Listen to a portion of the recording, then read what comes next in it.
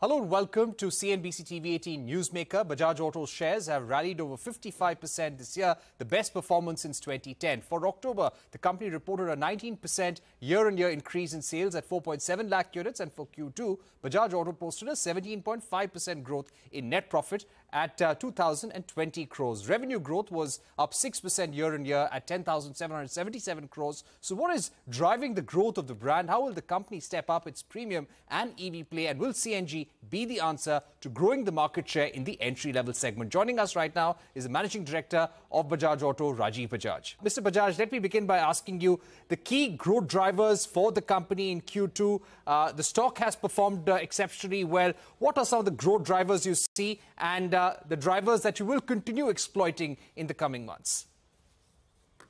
Hello, Parikshit. Thank you. Um, you know, when you ask me this question, my mind goes back to what I think was the best decade for Bajaj Auto, which was 2001 to 2011. You know, those those 10 years that actually started with the launch of the Pulsar in uh, November 2001. So I, uh, when I reflect on that, uh, it occurs to me that we did some things really right uh, over those 10 years. You know, we introduced the Pulsar, which was fantastic. Um, it changed motorcycling in this country. Um, we introduced uh, KTM um, uh, to this country through our partnership with them. Um, we uh, acted upon the Chetak, which was the ICE Chetak at that time, but uh, in the sense that we stopped uh, making scooters in our endeavor to focus on being a global motorcycle company. Um, we expanded our three-wheeler, not only in terms of distribution, but also on the back of new technology at that time particularly for CNG, um, because uh, it was led by Mrs. Dikshit in Delhi, who wanted, uh, you know, Delhi to be cleaner. Uh, and then finally, of course, that was the decade when we uh, commenced on our export journey. I mean, in 2001, our exports were close to zero. Uh, um, and 10 years later, they were probably, I mean, I don't know, maybe half a million or a million a year. Uh, and the reason I give you these five uh, data points is because I think what has gone right for us uh, in recent years is exactly more of the same. You know, once again, uh, the Pulsar in its new avatar is doing really well. Uh, this time, as opposed to KTM, we also have uh, Triumph joining us. The Chetak is back uh, in an electric avatar. Um, the three-wheeler again on the back of CNG and now the electric three-wheelers is really doing well, as you know. And finally, uh, exports after having you know, dipped uh, a little bit, uh, slowly coming back. And as you know, we are the largest exporter out of India. So I think we are firing on all these five cylinders again simultaneously. And that's perhaps what the market is appreciating. All right. So you're saying uh, just doing what uh, the brand has been doing very well with the Pulsar, with the KTM, with the Chetak, with the Triumph, with the three-wheelers and the exports. And that remains your strategy going forward. Uh, how has been the festive season for uh, Bajaj and how do you expect the company to do domestically in Q3, uh, also because of the wedding season? So, uh, as far as the festive season is concerned, uh, let me tell you vertical by vertical, our domestic motorcycle vertical for the Bajaj motorcycles. Um, uh, if I compare the October November period this year uh, with the same period last year, because that would be a fair comparison, um, then Overall, uh, the Bajaj motorcycle growth is uh, about 20% in retail terms. Um, and but within that, the mix is very interesting. On the 100cc, which has seen a lot of discounting in the marketplace, uh, not by us, uh, we are actually down 10% year on year. So we have a degrowth of 10%. Mm. But in the 125cc plus area, uh, which we like to refer to as the sports motorcycling area, um, and which is the uh, area of our focus, uh, believe it or not, our growth is as high as almost 50% year on year. You know, so that's how the blended average comes to 20% or 22%. Uh, and obviously, this is very good for us because that's the area of our strength. That is more the EBITDA supportive area, if not the EBITDA uh, accretive area. Uh, and that's where our focus will continue to be. On our pro biking vertical, which handles uh, KTM and Triumph, also we have similar like 50% growth, uh, which is to be expected because there was no Triumph last year. Um, on the Chetak, um, you know, we have moved very strongly. uh, in, the last two months from uh, number four to a uh, pretty strong number three position.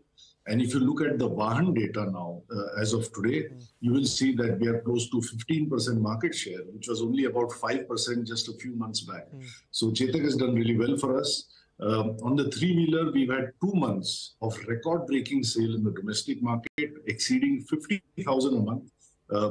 I personally never thought uh, that in my tenure at Bajaj, I will ever see the three-wheeler selling 50,000 a month for almost 80% market share. Mm. And on the exports also, we have some cheer because, uh, you know, typically before the uh, kind of crisis in several global markets, mm. we used to export about 200,000 units every month. This had dipped to almost 100,000, come back to about 130, 140,000. And I think now we are going to see 150, 160,000. So again, you know, uh, very good news on all the five fronts in the festive season. I think this is going to continue uh, for the rest of this financial year mm. um, uh, in a similar fashion. All right. Uh, let me uh, also ask you about the Triumph. You, you sold about 8,000 units of the Triumph in Q2. How do you see the production ramp up, uh, the sales footprint of the Triumph motorcycles? Now you've got the Scrambler also in the market. So we are uh, taken a little bit by surprise, I must admit. Uh, we had prepared ourselves for 5,000 a month because, you know, uh, primarily the market leader there, Royal Enfield, is, is a very tall and very deep uh, brand. Um, and, uh, you know, all of us have tried. Uh, over and over again in recent years, but nobody's really been able to make an impact. Mm. So our initial capacity, as I had shared with you previously, was for 5,000 a month. Um, and yes, last quarter we have done, I think, uh, 8,000 totally. This quarter, I think we should more than double that uh, to about 18,000, which means an average of 6,000. So out of a capacity of 5,000 a month, we will hopefully be able to uh, squeeze out 6,000 triumphs uh, on an average every month this quarter. Not easy with all the uh, Diwali break, etc. Um, and uh, that is a mix of uh, both domestic and exports of both the Roadster and the Scrambler. And going forward, uh, you know, obviously the next stop uh, should be 10,000 a month. And I think we are looking good for that. Uh, I must say that apart from expanding capacity, we also have to expand distribution because as you know, Triumph has its own exclusive network. We inherited about 14 or 16 dealers from Triumph. I think we might have about 25 dealers now, you know, versus let's say a thousand for Royal Enfield or 800 for Bajaj. So we still have a long way to go before uh, we establish the required uh, distribution footprint. Mm. Uh, so as capacity and distribution expand, mm. I think we will see this number expand. All right. Uh, so you're saying that you look to really double production and sales of uh, the Triumph from 8,000 in Q2 to about 18,000 in Q3. Uh, so strong numbers there. I'd like to ask you about ramping up uh, sales of the Chetak as well. 7,261 units in October, 11% uh, market share for Bajaj currently. How are you working to increase the market share here onwards and some of the strategies you would be deploying? Oh, well, uh, as I said, we are now uh, averaging about 15% uh, market share at a Vahan level. I suspect retail market share is a little ahead of that. As you know, Vahan takes a few weeks to catch up with the with the retail data. Uh, so the retail gives us uh, a lot of confidence. We are now averaging about 10,000 a month on average. again, we were constrained by capacity. Uh, and uh, I guess the next logical step uh, for Chetak is, I would say, 20,000 a month for a, let's say, 20% share. You know, so 2020 uh, uh, should be uh, the next stop for Chetak. How are we going to do this? well, the old-fashioned way, we have to again, like Triumph, we have to expand production capacity, which should be done within this quarter to the level of 20,000. We have again an exclusive network for Chetak um, and uh, we have to grow that network, and we are working on that. There are still uh, some large markets uh, where we are underrepresented. Mm. And finally, there has to be excitement for the consumer.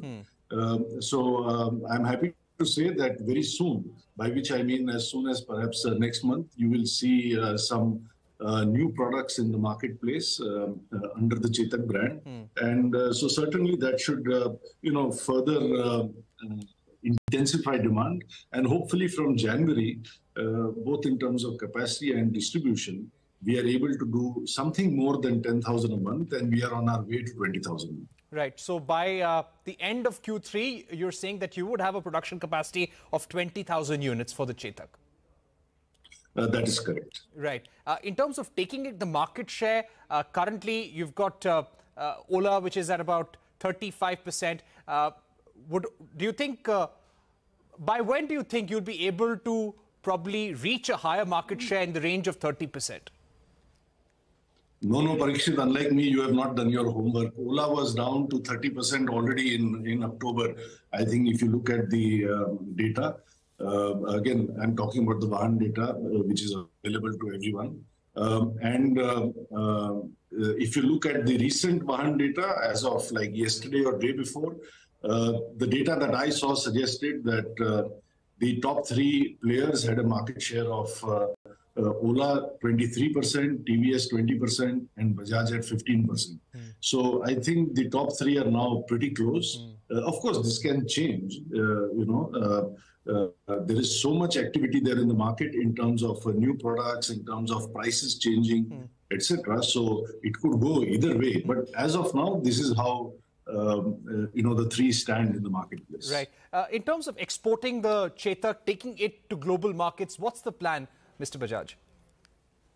Uh, you know, quite frankly, I think Rakesh is in a better position to answer that. And uh, since he's been away for a for a bit, I I am not uh, updated on that. I do know that uh, he has uh, two or three markets in mind.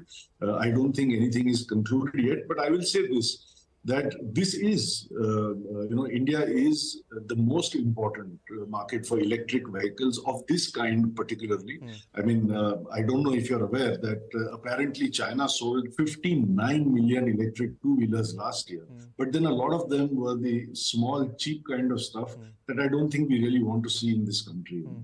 Uh, so uh, stuff that is of the standard of the Chetak, by which I mean the design standard standard, the quality standard, and the service standard for which the Chetak is being appreciated today. Mm. Um, you know, India is the most important market. So, quite frankly, mm. uh, you know, even if we just focused on this market for the next five years, uh, that itself would offer tremendous growth uh, for this brand. So, no immediate plans for exports? No. Okay. On that note, we take a short break, but don't go anywhere. This conversation with Rajiv Bajaj continues on the other side.